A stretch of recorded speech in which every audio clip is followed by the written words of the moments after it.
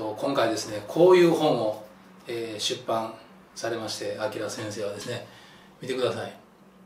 すごいでしょ？生理学インパクトです。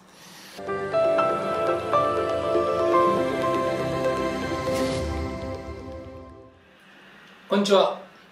谷口です。今日は、えーわざわざ東京から、えー私に会うために私に会うために来て。るそうです。はい。私に会うために、えーこのお茶の水ハリキュー専門学校副校長の原田明先生が来てくださいました。こんにちは、こんにちは。えー原田先生に来てまあ私はもう「明」言ってるんですけど えーえーえー明先生はですね、まあ、今まで今たくさんの本を出されまして「経血インパクト」とかあ自分で言うたらもうた方がええわ。じゃあ自己紹介お願いします、あこんにちは。あの原田と申します、えー今谷口先生から紹介ありましたように、えー本を、えー何冊か出しておりまして最初「えーマッスルインパクト」という本を、えー出させていただいたのが7年前で、えーそこから、えーボーンインパクト、えー経血インパクト都市検査インパクト神経インパクト血管インパクト、えーそして先月にこちらの生理学インパクト、えー無事出版することができました、はい、はい。えーこんな分厚いですよ、うん。370すごいですよ。ページ。ねごっついな。移動の日本社から出てますんでもうすでにかなり売れてますんで。まあこれは専門書やからね。うん。もう一冊買ってくださったら、えー代々使えるというもので。まあなんといってもですね彼はちょっと頭がおかしいというか、えーイラストまで自分で描くんで。すごいでしょ、えーぜひ、えーこれをですね購入していただいて、え健康の知識を蓄えていただいたらなと思いますが、まあ、今回来てもらったのは大阪のお好み焼きが食べたいので来てくれたんですけども、まあ、それプラスですね、まあ、今後前からまあちょっとずつねお仕事手伝ってもらってたんですけども本格的にやりたいなということでまた今ちょっと東京と大阪そんな頻繁に行けないですし、まあ、私ももう今大阪中心にしてますんでね、えなかなか会えなくなってましたんで今回来て、えもらったと、えいうことです。で今やっぱり思うことはセラピストの人たちももう少しね勉強してもらう。また最近はセラピストだけじゃなくて、自分のためとか家族のためにこういう健康のことを勉強したい。何から勉強したらいいんですかっていうお問い合わせよくいただくんですがやっぱりどうですかね一番こう体のこととかセラピストの人が何か体のことを勉強するにあたってこういうことをまず学んだ方がいいよっていうのはあります？一番やっぱり重要なのは解剖学だと思うんですけども、その解剖学を学んだ上で体がねどのようにしてうん。機能して生命活動を営んでいるのかとか、うん。まあ、そういうところはあのいろいろなその体の不具合とかを知るときにうん。足がかりとなると思いますので、うん。まあ、基本的なことはねあのセラピストの皆さんでも、うん。えー勉強されると、うん。えーよりそのねあの、まあ、患者さんお客さんの、えー役に立つようなアドバイスとかができるようになるんじゃないかなと思います。そうね。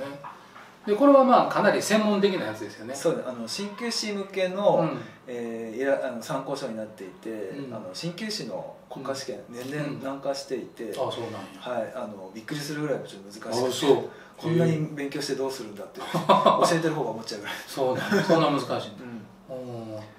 まあそれそこまでねその一般の方が勉強したりセラピストの方がする必要はないと思うんで、まあ、以前にも協力してもらっててね明先生には協力してもらって、えーちょっとこう知ってるようで知らないこと例えばこのなぜ指をポケポキとなったら音がするのかとかあと冷える原因とかね冷え性の原因とかあとリンパのこともやったよね、うん、リンパのことも皆さんリンパとかデトックスとか言葉知ってるけどこれちゃんと知らないとねその辺ちょっとどうぞリンパとかデトックスって言葉について。うん。えーまあ、リンパマッサージとかリンパドレナージとか、まあ、いろんな話、えーリンパ使う、えー一般的な人もね、うん。あの知ってたりするんですけども、えーじゃあなんリンパって何ですか、うん。ね聞かれた時に、まあ、えってなってしまうことが、そうね。まあ、あるかなと。うんでまあ、あのリンパマッサージって言いながらリンパのことがよく分かっていないとか、うんまあ、そうなってくるとねあの、まあ、お客さんとの信頼関係とか、うん。えあのうまくうん取れなくなってきたりもしますし、まあ、そういったことを、まあ、意外と日常的に知ってるつもりで使っているような言葉、えー聞かれたらえってなるようなこと、うんうんうん。まあ、そういうことをねあのまあ我々私のあの生理学的な、うん。えー今あのそういう教える仕事をしてますので、うん。まあ、そういった知識を、まあ、少しでもねあの皆さんの役に立てたらと思いまして、まあ、その時やらせていただいたっていう。うん。だから結構なんかみんなリンパ流すとかね、うん。ちょっと言葉がちゃうねんけどねっていう、うん。けどそれがこう一般にこう通っちゃってるじゃないですか。やっぱりそれを皆さんこれからしっかりとね勉強していただく、まあ、その上でも本物の先生からねまあ私も谷口先生って呼んでもらってますけど私偽物の先生ですから。けどこちらは本当の先生ですからね。こういうちゃんとした、えーお茶の水ハリキュー専門学校というのはちゃんと国が認めた機関ですから、えーそこで教えてらっしゃる方からちゃんとした国家資格レベルのものそれを一般のセラピストの方とか健康に興味のある方に伝える。またそういう人あんまりいてないのでで実際に教えてるわけですから教鞭を取られてるということなので、まあ、そういう方からね学んでいただくと、まあ、自信持っていただけるんじゃないかなと思いますしこれから技術だけじゃなくて知識をしっかりとお伝えするというのがすごく大事だと私も思ってるんで、まあ、これからもえー一緒にいろいろ作っていきたいなと思ってますんで、まあ、早速またね、はい。この YouTube 市の YouTube でもこうどんどんえー流していきたいなとえー思ってますんで、えー楽しみにしていただきたいと思いますじゃああきら先生なんか今、うちの YouTube とか動画とか見てくださってる方セラピストの方とかあとヨガとかピラティスのインストラクターの人も多いんですよ。であとご家族の健康を守りたい。別にプロになるわけじゃないけどもちゃんとした知識欲しいと。やっぱりそういうの知ってたら自分の家族の方が病気病院な病気になった時になんかお医者さんのアドバイスちゃんと聞けるじゃないですか、まうん。あ、そんな人も見てくださってるんで、まあ、そういう人に対してこういうのを伝えていきたいっていうなんかえデトックスリンパあと他これ知ってもらってた方がいいよね。なんかあります？健康の中でまずこういう知識は知ってほしいなっていうのありますかね？これ話したいな伝えたいな。今ちょっとコロナで、えーうん。皆さん関心持ってると思うんですけども、免疫とかね。そうやな。うん。なんかあの免疫って、まあ、言葉はよく知っていて、うんうんまあ、それ、まあ、どういううんシステムで我々が体を、えー病気にならないように、うん。まあ、しているのかとか、うん。まあ、その辺あの、まあ、深くねうん。する,、知る必要はないと思うんですけども、例えばねリンパ球とか、うん。白血球とか、うん。えーまあ、そういう言葉は知ってるけれども、えーそれ何が違うのかとか、うん。どういう役割をしているのかとか、うんまあ、そういうのを知って、えーいただくと例えばね新聞とかテレビとか、うん。まあ、いろんなその、えー説明があると思うんですけども、うん。そういうのなんか,、えーなんか右から左へと流れていかないであうん。こういうこと言ってるんだなとか。でまたね患者さんとかお客さんに対しても、まあ、あのあいいアドバイスとかもできるようになったりとかね、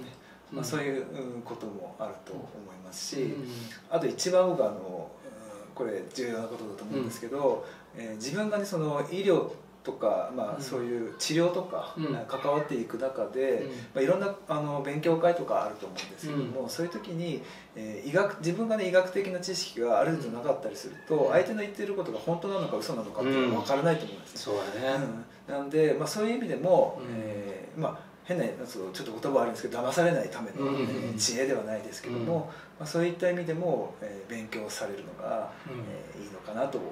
ます。そうやね。だからうちも、まあ、生徒さんとか勉強してくださる方もよそで勉強してからうち来てくれるけどその勉強してる人はすごく真面目にやってるけど話聞くとちょっと教えてもらったことにちょっとなんていうかなミスがあるものを教えてもらってる。人間ってやっぱり最初に教えてくれた人のことが基準になるやんか。でそれがちょっと間違えてたりしてやっぱそれをね改めてこうなんかちょっと違うよっていうのも悪いなと思うしあんまりそこまで言えへんねんけどぱりそういうのをちゃんと事前に知っておいてから、えー勉強してもらえばいろんなね技術、えーあるじゃない？いろんなね、まあ、それ勉強しても、まあ、その先生が本物かどうかをやっぱ見極める目をね、えーつけてもらえたらいいかなと思うし、まあ、それをね我々が、えー伝えられたらと。まあ私たち一応国家資格持ってる治療家でもあるので、まあ、そこから見たね、まあ、本当のそのセラピストの知識とか正しい健康知識それを見極める目を、まあ、我々もそんな偉そうには言えませんけどもやっぱりそういうものをね、えー我々からこれから伝えたい、えーちょっと違った間違えた理論を学んでね、まあ、それが正しいんだと思ってやってしまうと自分自身もなんていうかなマイナスになるしそれを受けてくれたお客さんもねセラピストとかになる人みんな真面目な人多いから一生懸命やるからお客さんもその人の話を聞く聞いてくれて実践してくれるけどそのセラピストの人が間違えたこと言ってたら大変なことになるんでね、まあ、これだけもう1兆円産業になってるんでセラピスト業界っていうのは。ちゃんとねこれからそういうのを伝えていきたいなと思ってますんで、まあ、ぜひあのこれから頑張っていきましょう。はい頑張りましょう、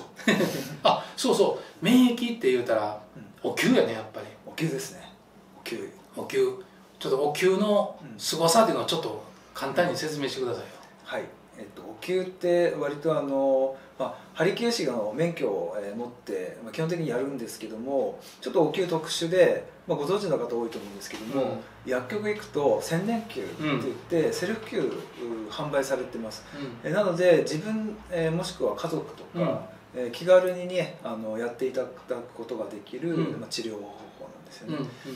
であの意外とこれ知られてないんですけども、これ科学的に立証されてるんですが、まあ、あるツボにそのお灸をすると、うん。白血球が数がねドーンと上がると、うん。まあそういうことが知られてます、うん。で白血球の数が上がると、まあ、さっきの話じゃないんですけど免疫が、えー当然上がるわけで、うん。まあ、こういうねあの、まあ、免疫力が弱くなってる時に、まあ、いろんな病気にかかりやすくなると、うん。まあ、それを防いでいく防いでいくために、えーセルフ灸毎日そのお灸の習慣を作っていうんただくと、まあ、そういうことをしていただけるといいかな、うんうんそうやね。ね。うん。やっぱそれもこれから、まあ、以前から私も言ってたんやけどもこのコロナが出た時にやっぱお灸やって言ってたんで、まあ、これを機にね皆さんお灸やってもらって私もずっとあのやってるんですよ。なので皆さんにもねそれもお伝えしたいなと思ってますんで、まあ、これからちょっと東京と大阪でなかなか会えないんですけどね。はい。でまあ今はもうネットでできるんで本当にあの先生のねえー明先生のこれをぜひ皆さんもちょっと分厚いですけど。